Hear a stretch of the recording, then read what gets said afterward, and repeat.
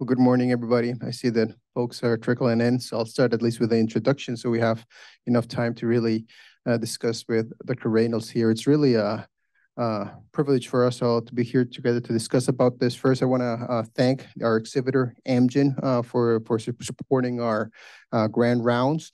And before I start with Dr. Uh, Reynolds' uh, introduction, really want to use this because it's tied to um, a study that we're participating now, which Dr. Reynolds will, will be talking about too. We, we're now participating in the HARP uh, a study uh, uh, in collaboration with Dr. Reynolds, which is a MINOCA study that does three vessel OCT as long as, as long as, as well as clinical MRI to better characterize these patients. we are into the study now. We actually did our first case a couple of weeks ago. So for all of those those of you that are around and seeing these patients, please alert me or, or Dr. Berlakis who are doing this three vessel OCTs if you have any of these cases, you know, we would be more happy to consider whether they're eligible. Uh, with that, I'll start, you know, Dr. Reynolds, it's really a privilege to have her here with us today. She's uh, the Associate Professor of Medicine at NYU Grossman School of Medicine. She directs the Sarah Ross Sutteroff Center for, Center for Women's Cardiovascular Research and she, and she is the associate director um, of the Cardiovascular Clinical Research Center. Uh, she is well recognized and an expert in both myocardial infarction with non-obstructive coronary arteries, MINOCA, as well as a stable ischemic heart disease with non-obstructive coronary arteries, and has had a, a research career focus on on cardiovascular disease in women, as well as testing of, of treatment strategies for ischemic heart disease in clinical trials. In fact, she was the associate director for the clinical coordinating center for the NHLBI uh, uh, ischemia trial, as well as the principal investigator for the CIAO ischemia study, uh, an NHLBI funded study addressing the relationship between changes in symptoms and changes in stress test results in patients with INOCA. Uh, she practices at NYU, um, and it's really a privilege to have her here with us today to discuss about um, uh, about MINOCA. Thank you. Thank you so much, Dr. Sandoval, for that kind introduction. And thank you guys for having me. I would usually say that I wish I could be there with you, but I have a bit of a cold. So I think you're lucky I'm not there. Please forgive me if I sniffle or cough a little bit during this. Um, so let me share my screen. You can see the slides just fine, right? I'm going to take it as a yes. Um, so I'll talk to you today about multimodality imaging in MINOCA. Um, what is MINOCA? There are standardized diagnostic criteria for MI and non-obstructive coronary disease, and they're put out by the AHA, but the ESC has similar criteria. And the diagnosis of MINOCA is really centered on the universal definition of myocardial infarction. So we need somebody with a rise or fall of troponin with at least one value above the 99th percentile upper reference limit, and either symptoms or EKG changes, new wall motion abnormality, something to tell us that this is a cardiac problem. And of course, we have non-obstructive coronary arteries by angiography, and that can range all the way from completely normal vessels to 49% stenosis. That 50% threshold is a little arbitrary, but it has to be set somewhere. And whenever we talk about what MINOCA is, we talk about what it isn't. So it isn't a case when you know the alternate cause for that troponin and let's say chest pain or EKG change. So if it's pulmonary embolism, then you wouldn't call it MINOCA because you wouldn't call it myocardial infarction if you see an 18 year old with influenza, chest pain, and ST elevations, well, you know that's myocarditis. You're not really going to think of MI unless there's some specific circumstance. So we wouldn't call it MINOCA just because the arteries don't show a lot of obstructive plaque. Which types of patients get this problem?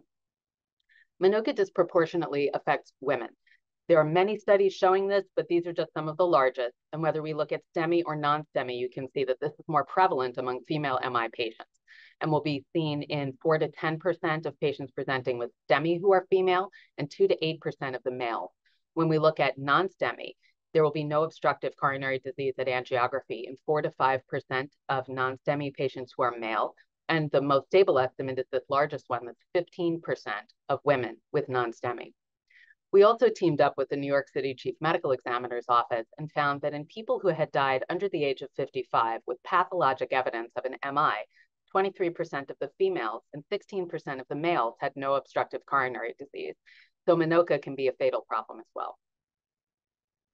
MINOCA is more common among certain racial and ethnic minorities. One of my colleagues, Nat Smilowitz, looked at the Actions Get with the Guidelines registry, now called Chest Pain MI, and we had almost 19,000 MINOCA patients in this registry.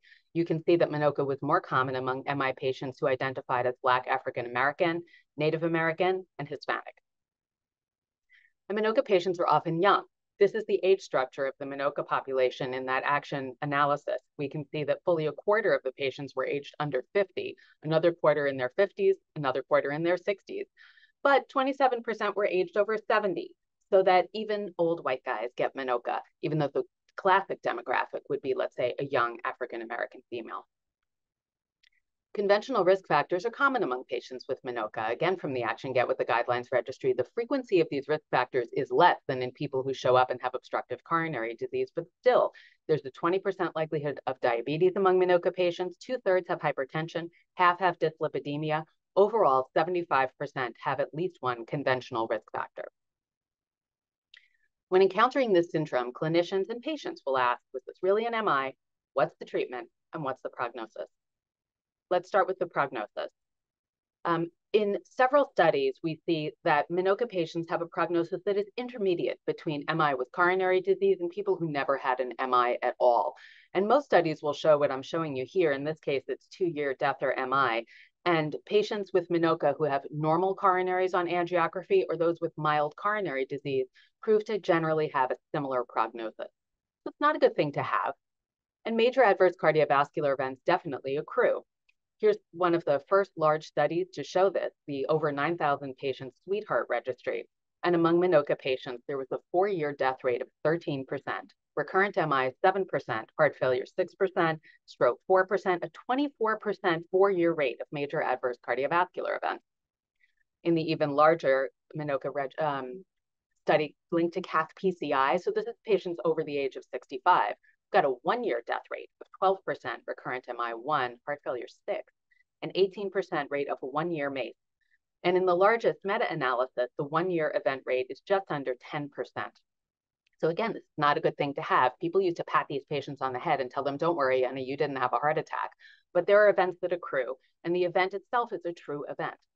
Predictors of adverse outcomes across studies are ST elevation, lower EF, and older age.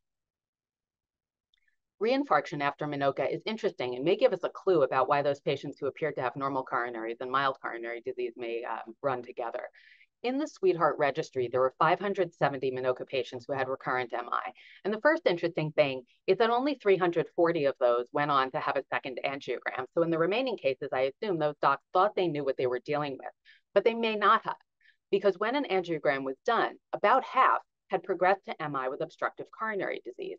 And if we look at the bar graph on the right, we can see that no matter what the interval was between those two MI events, it was about half had progressed to MI with obstructive coronary disease, probably giving us a window into the initial event and showing that atherosclerotic disease may have been part of the equation. Once there was a second MI, there was no difference in mortality afterward, whether that second MI was again MINOCA or MI with coronary disease.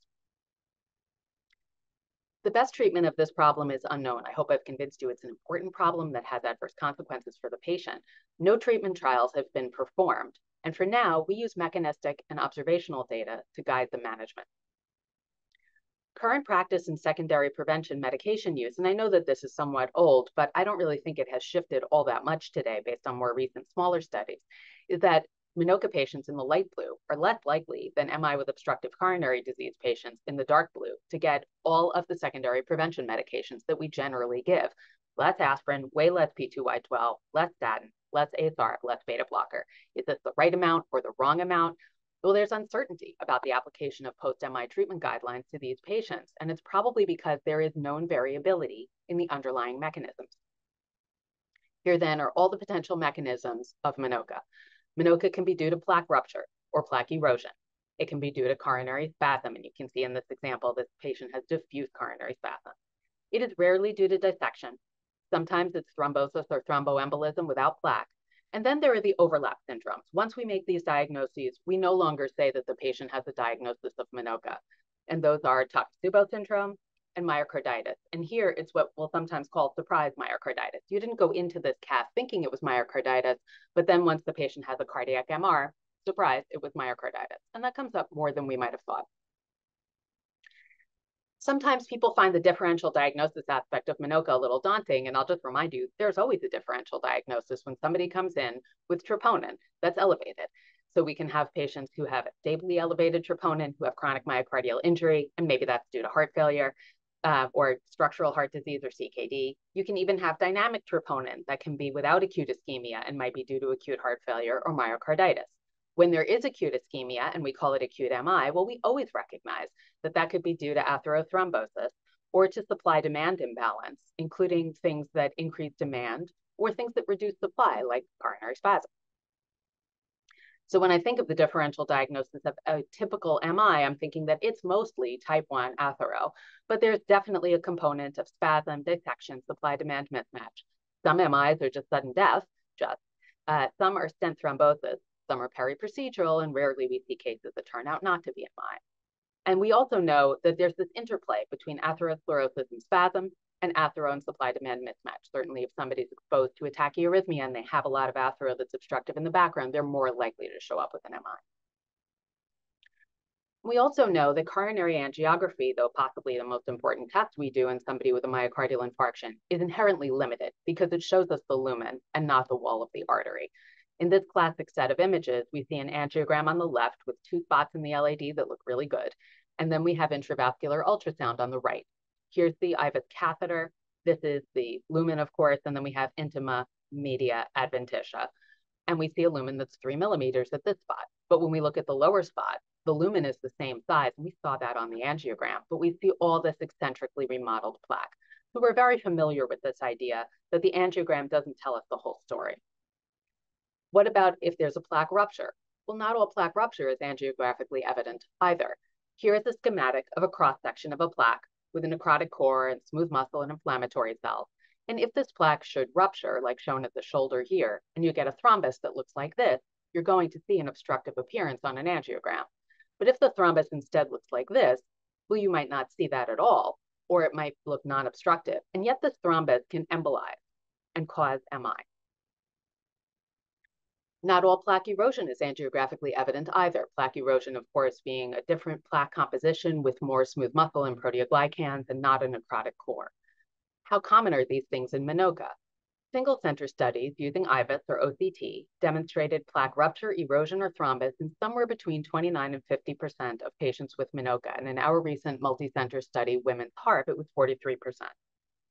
This is a lower rate than in STEMI, where it's most of the patients, it's higher than in asymptomatic patients with coronary disease, where it's single digit percentages, and it never happens in stable patients with ischemia and non obstructive disease.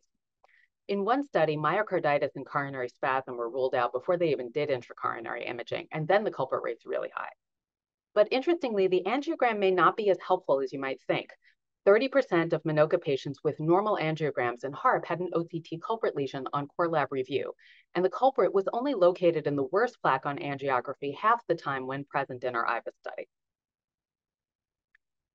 Another diagnosis, coronary artery spasm. This is a common cause of MINOCA, but it's a little hard to diagnose. If there's spontaneous spasm at cath, that may be helpful, but we also know spontaneous spasm happens just from the catheter. Provocative testing is not routinely done at the time of an acute angiogram, although we'll sometimes do it when it's a recurrent case and it's a low risk second MI. Recent studies using provocative testing across the board in MINOCA patients show that somewhere between a quarter and two thirds will have inducible spasm. And when it's present, about half will have epicardial spasm, where you see a 90% stenosis in response to acetylcholine, and about the other third to half have microvascular spasm, where the artery doesn't narrow 90%, might not look different at all, but there's recapitulation of symptoms and EKG changes. Most patients with spasm also have non-obstructive coronary disease. A myocardial bridge may be a clue to spasm. In a study testing people with myocardial bridges, most of those um, will have spasm in that spot. And also a recent study shows that exposure to air pollution is independently associated with positive testing for spasm among non-obstructive ischemic heart disease patients.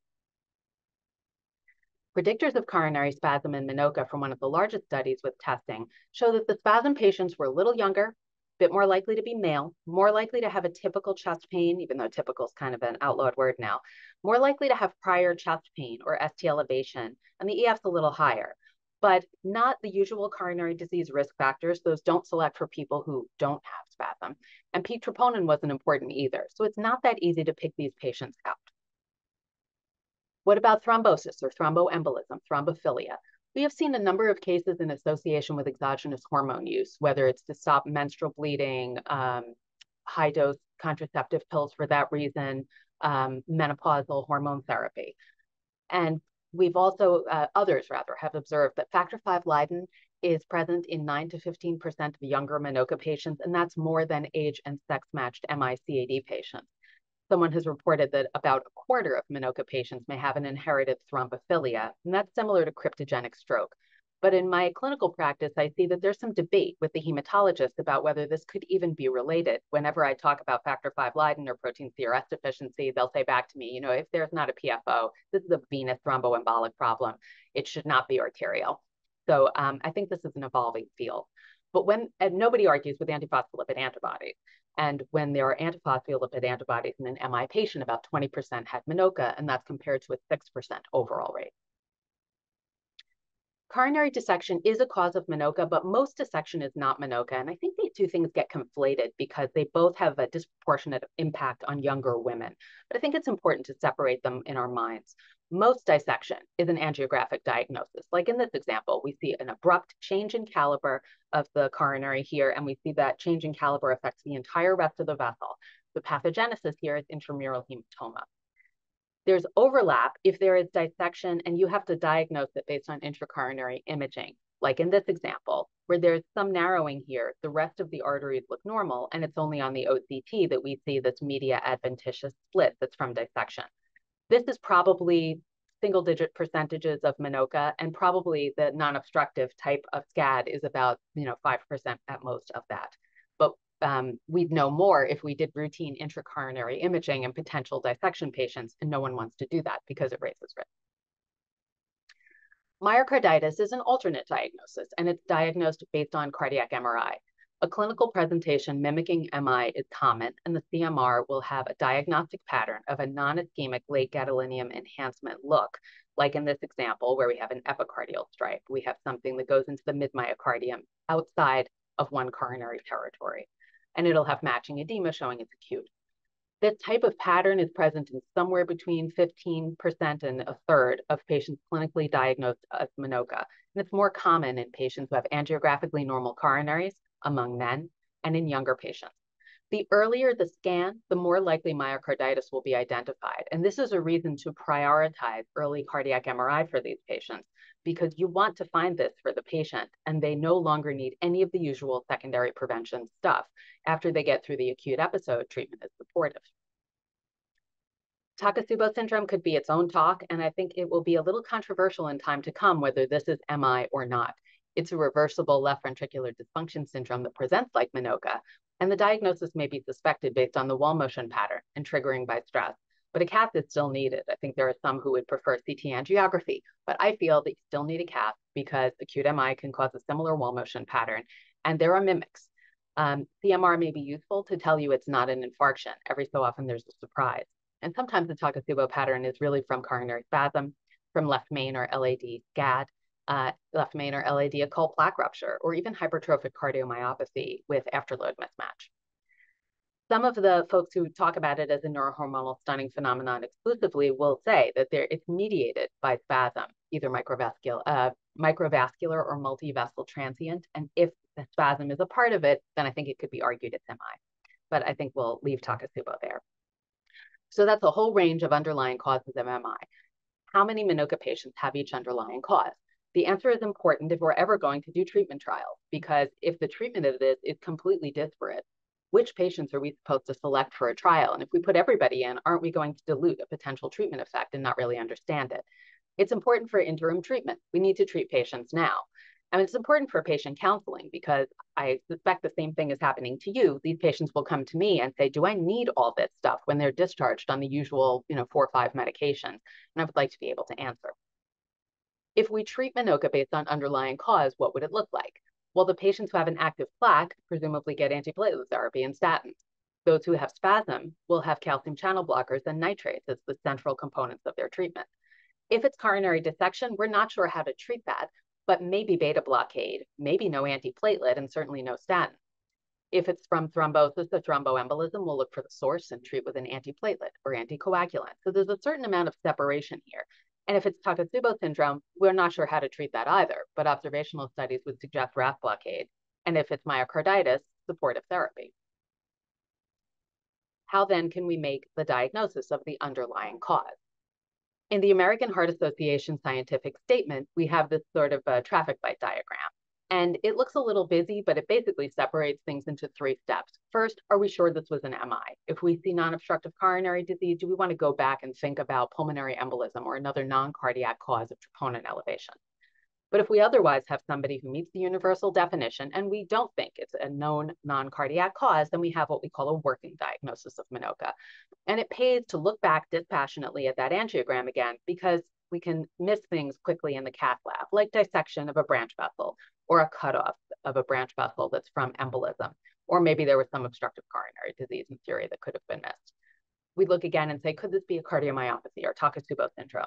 And then you're supposed to get a cardiac MRI and this point in the thinking process to say, maybe it's not really MI, maybe it was myocarditis. Once we've done at least the review of angiography and an LV functional assessment, we say, okay, this patient has MINOCA. And we want to think about doing additional testing to sort out why this particular MINOCA happened. Our options are intracoronary imaging, assessment for spasm, or both. And sometimes, even with everything, we don't know. And then we call it an unclassified MINOCA. In order to try to figure out how common each of these underlying causes was, we embarked on the Women's Heart Attack Research Program, focusing initially on women because the syndrome has a predilection for women. This was funded by the American Heart Association's Go Red for Women Strategically Focused Research Network and established our Center for Women's Research. Our objectives were to determine the frequency of vascular causes of MINOCA on intracoronary optical coherence tomography. We wanted to find myocardial abnormalities on CMR, whether ischemic or not, and basically figure out how often each patient had each underlying cause. We started with women with MI referred for cath with the intent to perform PCI.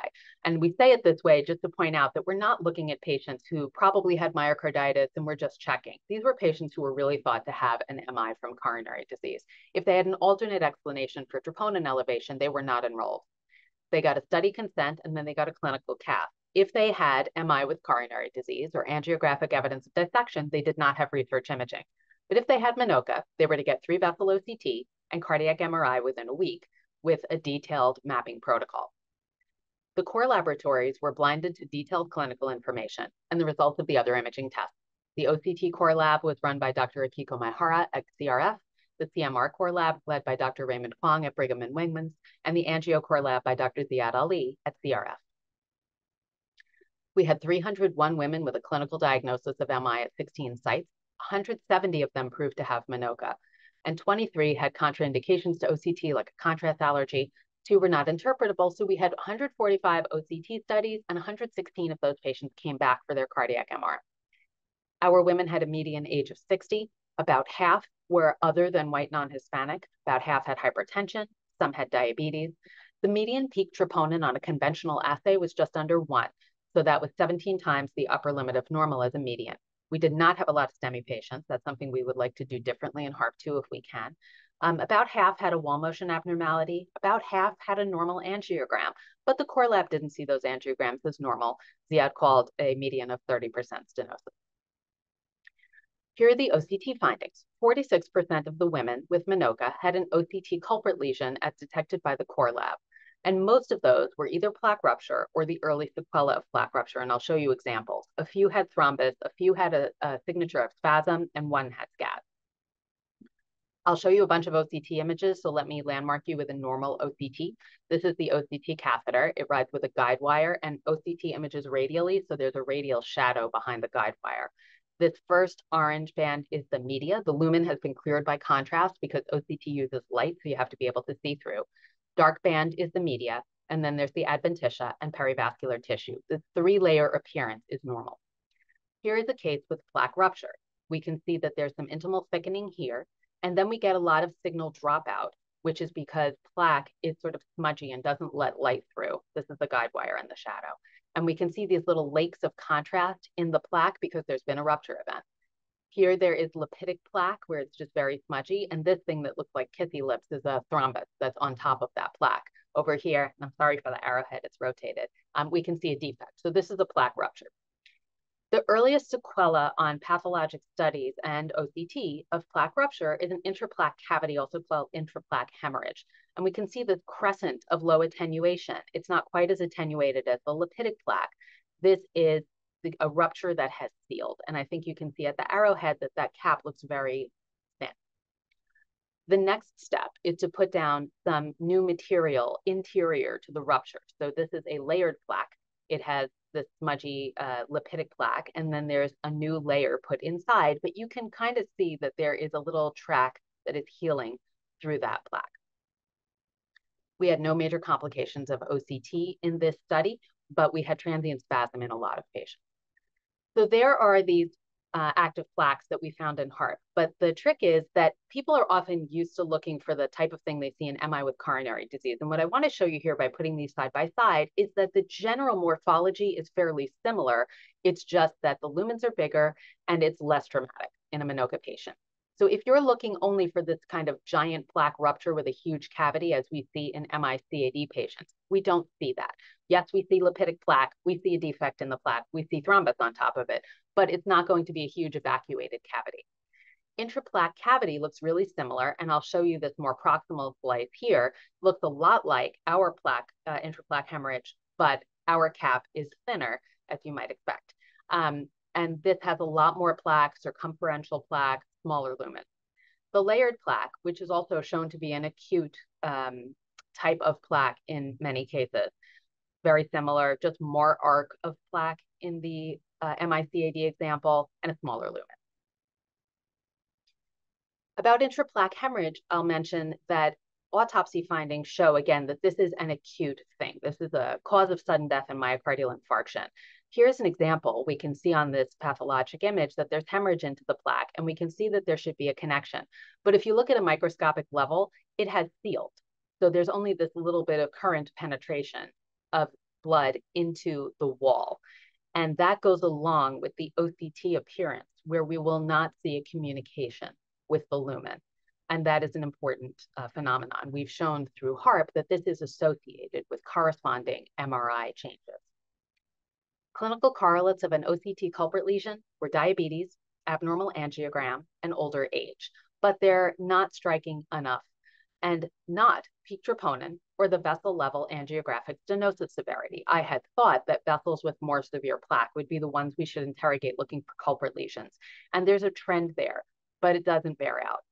The more vessels imaged, the more likely there was a culprit lesion. And remember that these are mostly non-STEMI patients. And in non-STEMI in general, it can be hard to be sure about the culprit.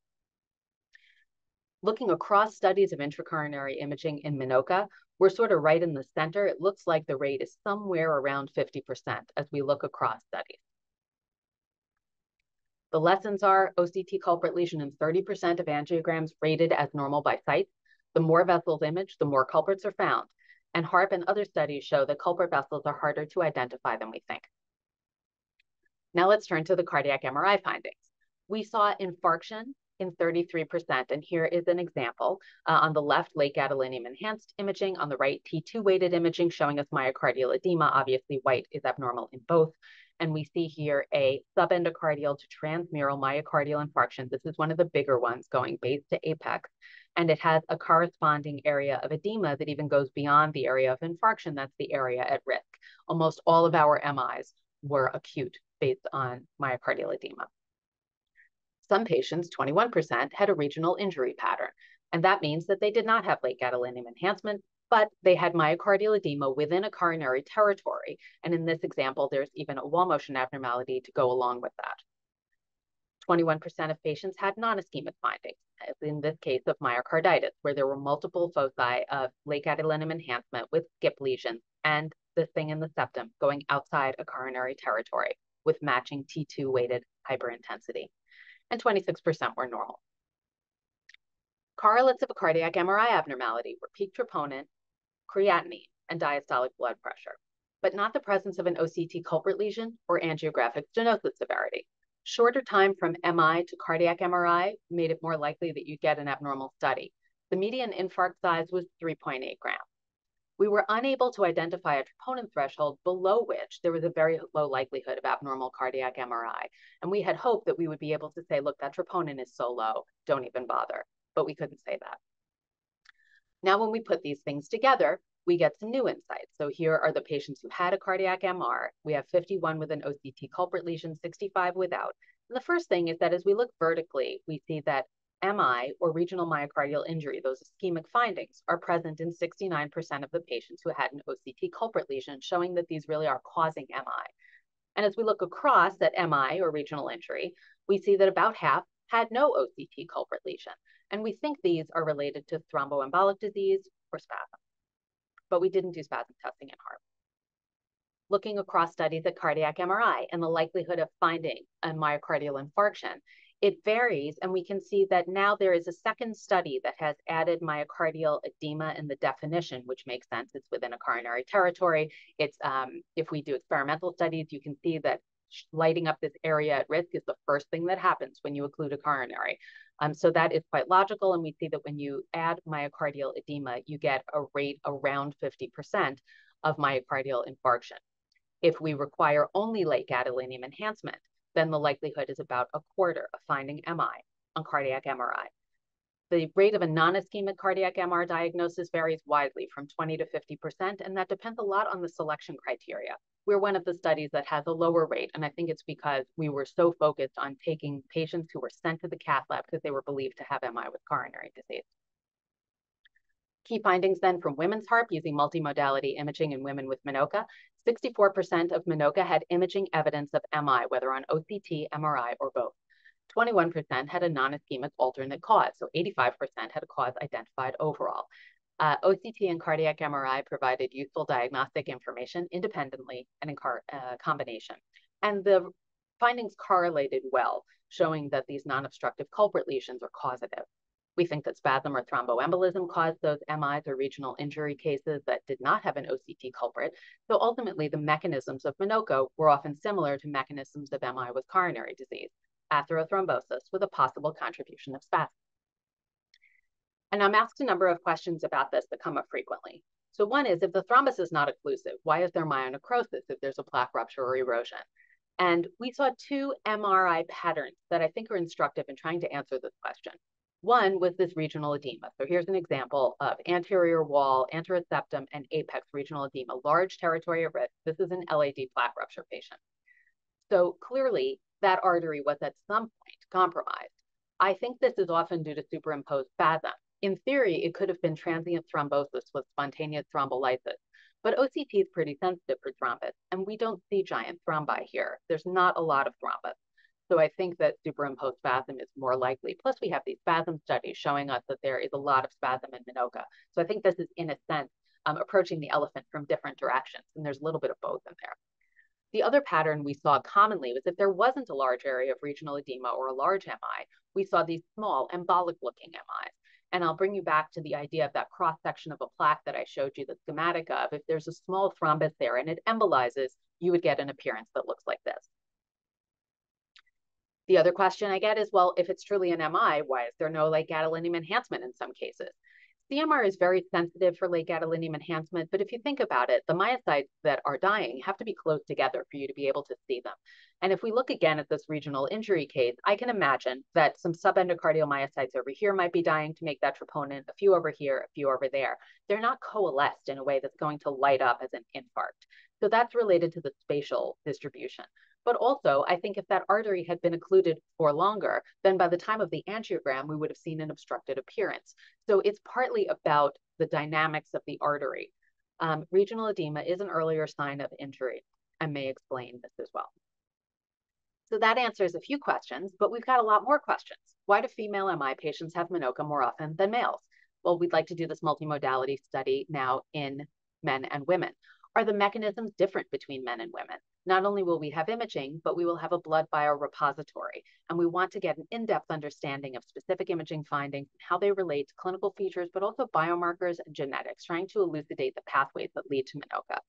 We'd love to be able to target imaging to specific patients. These imaging studies are not widely available for everyone. They might not be available in a timely manner. A larger sample size will strengthen those analyses of predictors. And so we're doing HARP 2.0, enrolling 200 additional men and women with MINOCA. You guys are an enrolling center, as you heard from Dr. Sandoval. Thank you to Dr. Sandoval and Drs. Cavalcante and Brilakis so that we can get more patients um, into HARP. And I hope that you will refer your patients. Here are the current HARP study sites. We were sort of hitting the east and west coast there and going upon Canada, so we need to get to the heartland, and we're happy to have you. The imaging study design is very much like what we did before, but including men. Patients with MI referred for cath, they can't have prior obstructive coronary disease, so no stents or surgery. If you're getting consent pre-cath, you get these stress questionnaires. They have their clinical cath and biorepository samples. Again, if they turn out to have MI with coronary disease, dissection, or if you're sure it's Takotsubo, they screen fail, they get no research imaging. But if they have MINOCA, they're to have three vessel OCT and cardiac MRI on a prioritized time frame in order to see as much edema as we can. And then they get followed up for events every six months, but this is low intensity follow-up. It can be virtual or in person. The inclusion criteria are basically universal definition of MI. Exclusion criteria, prior center surgery, alternate explanation for troponin elevation, and I'll show you that this can be a judgment call.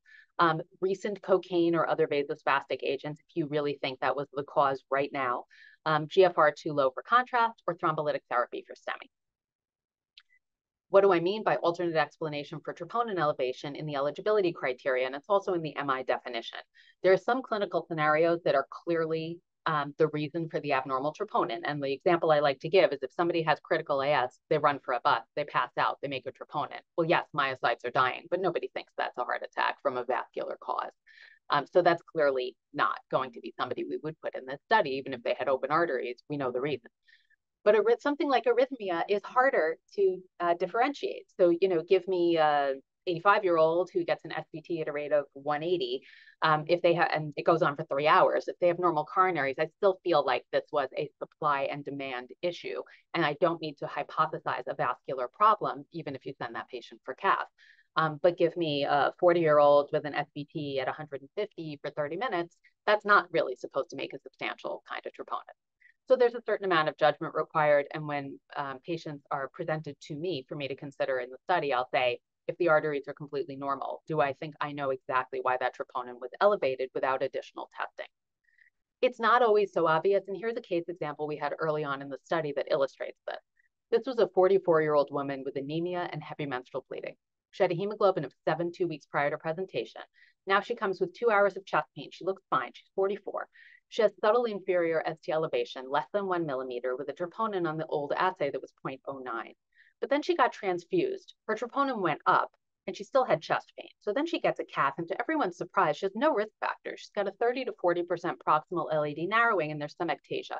And in the interest of time, I'm not showing you the angiogram, but the LAD wraps well around the apex, going halfway up the inferior wall. OCT showed plaque rupture in her with thrombosis. These are proximal, actually, yeah, distal to proximal going left to right. And this is the OCT catheter, guide wire, and the shadow. This thing is an artifact, but this serpiginous tract into the plaque, that's an intimal disruption. And this is a lipid-rich plaque. We see a thrombus coming in here. It meets criteria at this slice for a thin cap fibroatheroma. And there's a bigger thrombus as we continue to pull back in this vessel. So this was a surprise. Nobody was really expecting this in this patient. And on her cardiac MRI, there's an infarct. You can see one of these embolic appearing small transmural infarcts in the inferior wall. And this is right where the LAD ended. So this is basically what I showed you in the schematic with the small thrombus on a plaque rupture that embolizes to the end of the vessel. And this case was instructive for a lot of reasons for us. One, um, nobody was expecting a plaque rupture and a thrombus in this woman with heavy menstrual bleeding. Some of the clinical team were sure this was a supply demand mismatch problem, but the clues were the hemoglobin's not that low. She's young enough that she should be able to sustain that without making a troponin that was so elevated. Um, there, so, and she's still having chest pain after a transfusion. So supply demand mismatch, it really didn't hold water here. The ST changes were inferior and the infarct is inferior, but the problem's in the LAD. So if we hadn't been doing three vessel imaging in this patient, we would have missed it because I think people would have imaged the right and the circumflex. Um, so there are a lot of instructive findings here. Don't be so quick to um, chalk it up to supply demand mismatch. There's no way this woman's getting antiplatelet and stat without this imaging. So it's a nice case. But they're not all like that. This is the case I just showed you. Here's two more cases. Similarly aged woman, similar uh, troponin elevation, also mild LAD stenosis. This one proved to be a dissection that was not angiographically uh, obvious. And she has an LAD territory MI. And here's one who's a little older and her blood pressure is higher. She's got a little more ST elevation and a slightly higher troponin. She had some spasm, but as soon as intracoronary nitro was given, she had mild LAD stenosis. And she turns out to have a lipidic plaque with layering and lets you think that is a chronic problem and this is an old thing. Here's her MI. It's gigantic. And the T2 weighted imaging shows it is acute. So we get totally different imaging findings depending on the patient. Um, this idea that there can be an alternate diagnosis on cardiac MRI and MINOCA, it's not unique to non-obstructive disease. This is a nice consecutive series of patients with non-STEMI. And when they thought they could identify the infarct-related artery, MRI proved them wrong in some cases. Sometimes it was a different infarct-related artery. And in fact, sometimes it, there was single vessel disease. So of course, the researchers picked the single vessel as the likely culprit. But in fact, it was MINOCA because a different territory had an infarct. And in 12.5% of these cases, there was an alternate diagnosis entirely, even though there was coronary disease. Some patients really had myocarditis or Takotsubo or amyloid. So this idea of a differential diagnosis, again, is not unique to MINOCA. When I put this all together, I think, okay, MI with coronary disease, mostly type 1, some type 2, we've talked about this, but some is not MI. And with MINOCA, there's athero and uh, an athero culprit in let's say about half. There's more type 2. Some is still MI with sudden death. We showed that in the autopsy study. More of it is not MI, and there's some with an unknown mechanism. How does prognosis relate to the MINOCA underlying cause? Well, atherosclerotic culprit lesions may be associated with a poorer prognosis than no culprit on OCT, and you can see these are atheroculprit lesions and freedom from MACE here. A meta-analysis of cardiac MRI findings in MINOCA finds that the patients who are found to have true MI have a worse prognosis than those with myocarditis or Takotsubo syndrome. But keep in mind that a normal cardiac MR can happen with plaque rupture. Patients with a normal cardiac MR are still considered to have MINOCA, and the later you image, the less likely you are to find something. Over the long term, probably those patients with non-ischemic cardiomyopathy are at the highest risk. MI or myocarditis may be middle uh, in this study. And normal CMR, this is why I'm showing it to you, normal CMR, although it's still considered MINOCA, seems to have an excellent 10-year prognosis. Now in that study that also includes regional edema, we can start to see that regional edema in the blue has a poorer prognosis than normal CMR, but infarct has a poorer prognosis than just regional edema. Still, the amount of edema, the extent of edema or of infarct is associated with worse prognosis for every segment and increase in risk getting a diagnosis also matters to the patient on a very um, personal level. So among 200 patients with a median follow-up of two years, these patients will go for more testing if they don't, oh, this is the opposite, I'm sorry. Um, there is less testing in the people who get a diagnosis made. Um, the people who don't have a diagnosis keep coming back worried about their symptoms. How should MINOCA be managed then? There are ESC guidelines on acute coronary syndrome that include MINOCA, and there's a class one recommendation for cardiac MR. It's also a class 2A in the 2021 chest pain guidelines. You're supposed to manage according to an established underlying diagnosis and use a diagnostic algorithm to get there. And that diagnostic algorithm looks a lot like what we're doing in HARP. The ESC guidelines will say that secondary prevention therapies should be considered for those with evidence of coronary disease and to control risk factors. Should every patient with MINOCA have cardiac MR? Well, I mentioned to you that in HARP, we saw that there was no lower bound of troponin that made the MRI no longer useful. And that was true in another study where they say, okay, this is the highest yield subset, shorter CMR interval, higher troponin. But look at the longer interval after two weeks and a lower troponin. And this is a pretty low high sensitivity troponin, still half are diagnostic. This is an observational study of secondary prevention after MINOCA from SWEDEHEART. They constructed propensity score matched cohorts by medical treatment and followed for four years. All of the red lines are patients selected by their physicians for treatment with that class of agents, and the blue are selected for no treatment. And we can see that statins are associated with lower risk of MACE and follow-up. Selection for ACE-ARB is associated with lower risk. selection for beta blocker tended to be associated with lower risk. And for the composite endpoint, no difference in DAPT, although DAPT and beta blockade tended to be associated with lower all-cause mortality in MINOCA patients as well. There are two ongoing studies I'd like to highlight quickly. One is StratMed MINOCA, and this is a randomization of spironolactone to and control in patients with elevated IMR. There's a precision medicine study basically trying to see if angina status is different if you follow an algorithm like the HARP algorithm or just use usual care. So we definitely need more clinical trials in order to get answers for our patients. I see I'm short on time, so I'm going to fly through the last few slides. I just wanted to talk to you a little bit about some of the basic science stuff. What role do platelets play in MINOCA? And in theory, platelets could be really important because we have all these patients with non-obstructive plaque, and we know that athero progresses over time through repeated cycles of rupture and healing. But most of these events are asymptomatic or mildly symptomatic. If the plaques get larger, it's more likely that a small thrombus is going to bring this to clinical attention because of the diminution in blood flow. But there are certainly some people who have small plaque ruptures and they're clinically silent, and other patients have small plaque ruptures and they come in with MINOCA. And we'd really like to understand the difference. So my colleague Jeffrey Berger is doing a basic science study collecting blood from patients with MINOCA and with MI with coronary disease, along with non-obstructive controls. And his mentee, Tessa Barrett, has shown that you can use platelet RNA sequencing. It will separate controls from MI pretty well. We can see there are a lot of differentially expressed transcripts. And the top hits in these platelets are things that are related to thrombosis. So that makes sense. The MI patients have activated platelets. But when we look at MI-CAD versus MINOCA, we again see pretty good separation and differentially expressed transcripts. But now the top hits are related to inflammation. NET signaling, neuroinflammation, nitric oxide. So this is an area of active investigation, and we need more samples and more patients with more imaging in order to sort this out. She's looked at whole blood RNA sequencing as well, and we see that one of the top differentially expressed transcripts between MINOCA and control and MINOCA and MICAD is related to estrogen, which is really thought-provoking because women are more likely to get MINOCA than men. The take-home points then, MINOCA, is it MI? Yes, about two thirds of the time. And you might say to your patient, you had heart attack with open arteries or MINOCA. More testing might help us figure out why this happened to you and might help me understand which medications you need. These patients can look very similar on the outside, and we need advanced imaging in order to sort them into categories. Invasive testing is important. Coronary CT will detect plaque, but not rupture, erosion, or thrombus. It doesn't have the resolution. And a CMR-defined impact, infarct could be from spasm or it could be from active plaque. The identification of the underlying diagnosis will facilitate tailoring of therapy. Intracoronary imaging is usually done during the diagnostic angio, but it could be done afterwards, especially if there's an ischemic CMR finding. Spasm testing is usually reserved for patients with persistent chest pain, but it could be considered acutely if the suspicion is high as in a recurrent event and the patient is stable.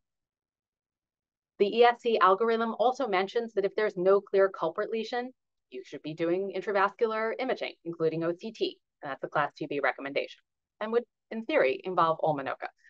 Um, CMR for everyone. The key role is to rule out myocarditis and other non-ischemic causes. It's important to tell the patient from the outset that the cardiac MR is needed to guide treatment because they often need to come back for this.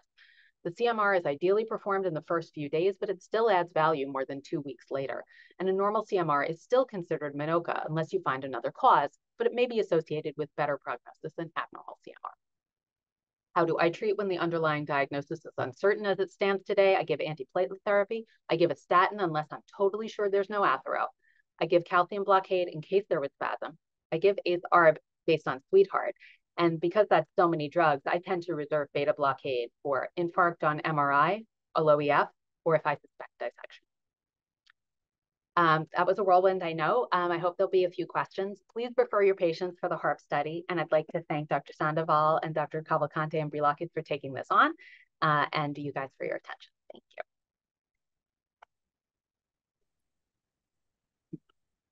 you.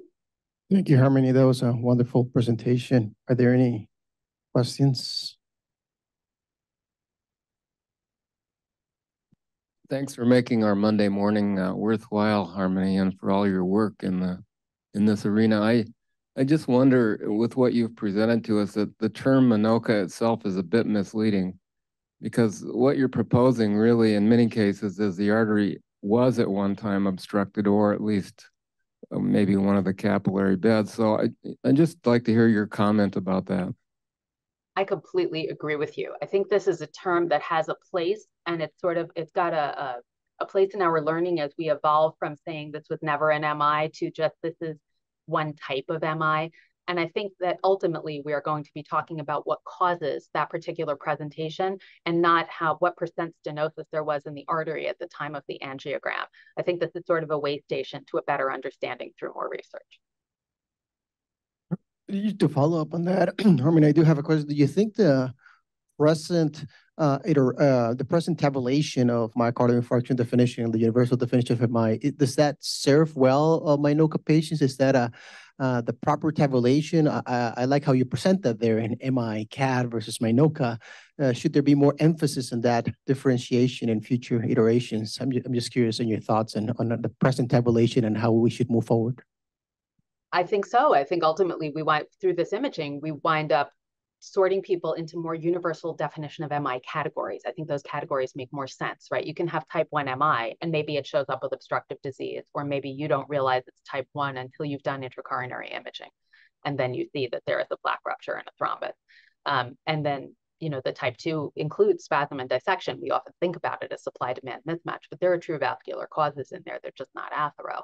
And then there are some cases that are instead myocardial injury and just takes more testing to figure that out. But that's why I like that cardiac MR study, the serial cardiac MR and the MICAD non-STEMIs, because you kind of have to think about these alternate diagnoses in everybody. So yeah, I agree with you totally. Other questions in the room in the meantime? So I'll ask something else here. You know, of course, there's a HARP protocol, uh, but clinically, what do you think is the timing of this, uh, you know, there was, um, I want to say a study in the Netherlands looking at patients with MI with increased high sensitivity troponin that did MRI first. Uh, uh um, uh, uh, and, and, I'm just curious, as we learn more about this, what do you think it's the, the sequence of, of events here?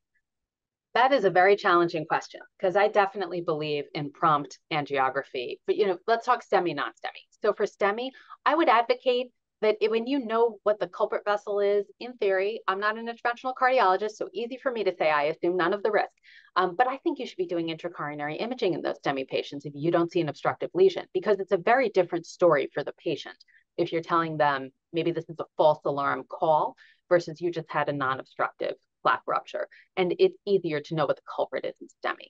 So I am, and ST elevation is a harbinger of increased risk in MINOCA patients. So um, I feel that that's a place that the field should move. For non-STEMI patients, not as obvious where the culprit lesion is. And I think that it's instructive to figure out for the patient if there is a culprit lesion. Again, you have to know what you're looking for. Um, but it winds up being three vessel OCT, ideally for the reasons that I've shown you with that in mind, then, if there are cases that you think are high likelihood for myocarditis, but you're not sure, and maybe my patient, the 44 year old with the menstrual bleeding, maybe might have been one of those, or you're not sure what it is, I think it might be useful to get the MRI first if there's no rush to do an angiogram. And that might be able clinically to help us target imaging for the future.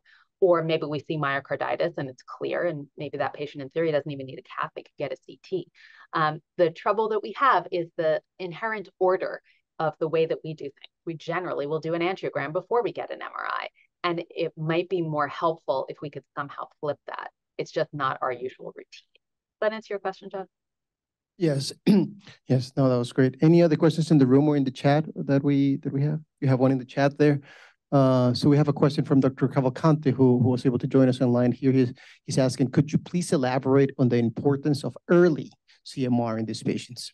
Oh, yes. It is definitely important to get it earlier. I'm showing you slides saying get it anytime, get it with low troponin, um, because sometimes there is a wait.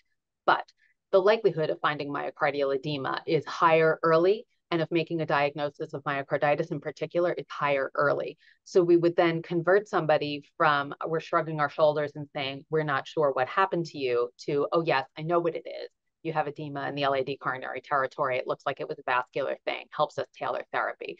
The earlier the CMR, the better. Ideally, it's done in the inpatient setting next day or same day after cath because edema starts to wane pretty quickly. And we're almost done, but let me ask you one final question here. So the um, in in these patients with MINOCA, um, you know, I, think sometimes there's um, uh, as you pointed out, the status quo of like, oh, normal coronaries, particularly if no comprehensive evaluation is done. And, you know, it's all good, follow up with your primary care. But should we follow these patients in cardiology? Uh, what's your protocol at NYU? Do you follow them in the cardiology practice? And on that same note, do you offer them uh, uh, coronary microvascular dysfunction testing in the future in some of these patients?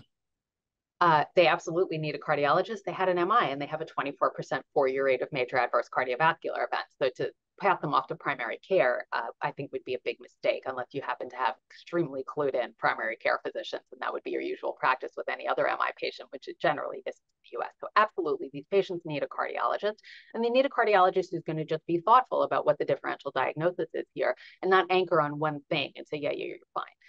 Um, and then what was your other question there? You said, oh, about uh, microvascular testing. Yeah. I generally will offer invasive coronary function testing to patients who have persistent chest pain. And in my experience, they almost all have coronary spasm. So if they keep coming back with chest pain, they almost always have spasm.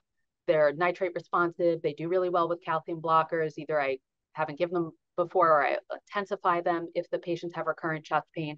And a lot of patients will want to know what that pain is and we'll go back for function testing here. And the hit rate on spasm is very high, so high that I feel like maybe I'm not referring enough patients because I can't, it can't always be. Um, Seems like there's two questions. Seems like there's two questions in the chat. Well, um, uh, I, I don't identify the name from the second one, but it says, does microvascular testing have a role in evaluating new HFrEF with no epicardial coronary artery disease? I think that's a slightly different topic, but but yes. Uh, let me try anyway. Um, I have always worried about microvascular testing in people who have a reason for abnormal microvasculature. For example, in patients with MINOCA, if we do microvascular testing early, it's very often abnormal. And then you don't know, is it because there was myocardial edema or infarct and it's compressing the microvasculature so that microvasculature was fine right before the MI, but now it's a problem? Or is that, does that really signify that the microvessels are the problem? And you can't separate that. So if we do microvascular testing, we wait until we think edema has resolved, and we still have that question in our mind. For HFrEF, I would have the same concern.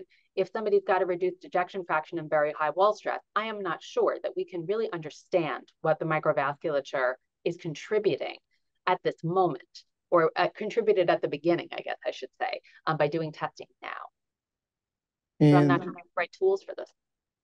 And one other question in the chat here from Dr. Sujadis is, is there a relation to elevated LPA?